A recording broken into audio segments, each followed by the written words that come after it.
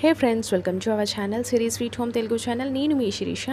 అందరికీ నమస్కారం. అందరూ ఎలా ఉన్నారు ఫ్రెండ్స్? ఈ రోజు మీ సిరీస్ స్వీట్ హోమ్లో బెండకాయ పచ్చడి ఎలా ప్రిపేర్ చేసుకోవాలని చూసేద్దాం. ముందైతే ప్యాన్ తీసుకొని దీంట్లో త్రీ టేబుల్ స్పూన్ ఆయిల్ వేసుకోండి. ఆయిల్ కాస్త హీట్ అయిన తర్వాత ధనియాలు జీలకర్ర ఆవాలు కాస్త శనగపప్పు మినపప్పు ఇవన్నీ వేసుకోండి. ఇవి కాస్త గోల్డెన్ బ్రౌన్ కలర్ వచ్చిన తర్వాత దీంట్లో మనం ముందుగానే చాప్ చేసి పెట్టుకున్న గ్రీన్ చిల్లీ ఆనియన్స్ వేసుకోవాలి. కారానికి సరిపడా గ్రీన్ చిల్లీ తీసుకున్నా నేను.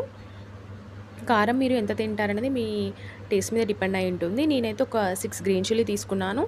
కాస్త కరివేపాకు కూడా వేసుకోవాలి. ఇవి కాస్త ఫ్రై అయిన తర్వాత వెల్లుల్లి రెబ్బలు యాడ్ చేసుకోండి. మనకి ఈ వెల్లుల్లి వేయడం వల్ల మనకి పచ్చడి టేస్ట్ ఇంకాస్త ఎన్హాన్స్ అవుతుంది. ఇవన్నీ బాగా కలిపేసుకోండి దీంట్లోనే. వన్ టేబుల్ స్పూన్ పసుపు యాడ్ చేసుకోండి. పసుపు కూడా వేసి బాగా కలుపుకోవాలి.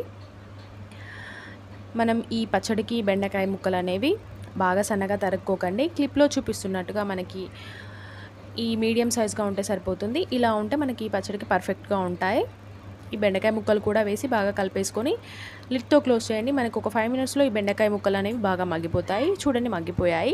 ఇలా మగ్గిపోతే సరిపోతుంది. ఇప్పుడు ఈ స్టేజ్లో ఉన్నప్పుడు పచ్చడికి సరిపడా సాల్ట్ యాడ్ చేసుకోండి. సాల్ట్ యాడ్ చేసుకొని బాగా కలిపేసుకోండి. బాగా కలుపుకున్న తర్వాత ఒక వన్ మినిట్ అలాగే వదిలేయండి. తర్వాత దీంట్లో మనం ఒక టూ ఆర్ త్రీ టమాటాస్. ఇవి కూడా మీడియం సైజ్గా చాప్ చేసుకోండి. చాప్ చేసుకొని వేసుకోండి. మనకి టమాటా వేయడం వల్ల పచ్చడి టేస్ట్ కాస్త డిఫరెంట్గా ఉంటుంది. మనం మొత్తం బెండకాయతో చేస్తే కొంతమందికి నచ్చదు. అందుకోసం అని చెప్పి నేను దీంట్లో ఒక రెండు టమాటాలు యాడ్ చేసుకుంటున్నాను. ఇవి కాస్త మగ్గిపోయాయి.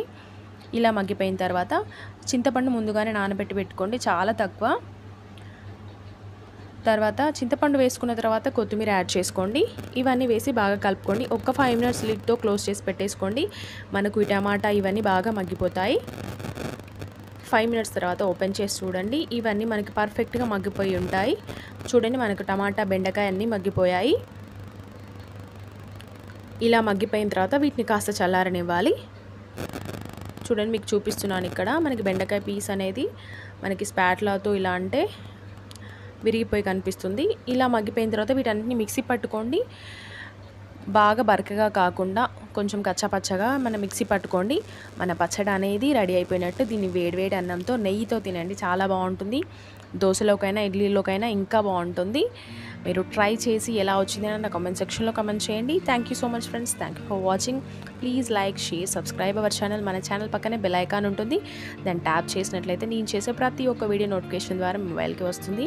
Bye, take care.